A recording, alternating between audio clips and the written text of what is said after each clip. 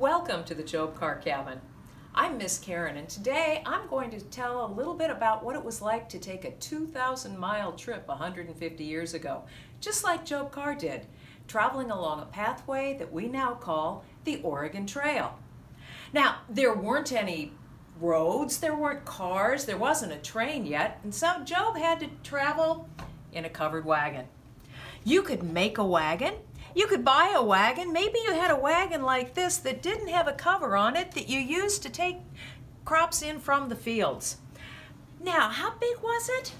Wasn't as big as you might think. It was about four feet wide and 10 feet long. Maybe your parents can help you figure out how big that is by putting a book down on four corners, four feet by 10 feet.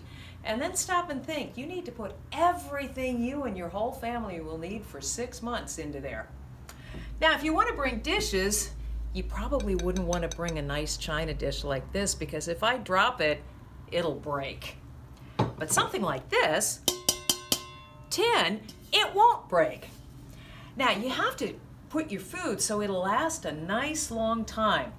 They didn't have freezers back then, unless if you had a block of ice, and that was going to melt during the six months you were traveling on the trail, so you usually had to dry things. I have some dried stuff. It might not sound very tasty as it goes into the tin. This is called hardtack. Mine is pretty old and it's fallen apart, but it's flour and you water and you bake it and bake it until it's very, very hard.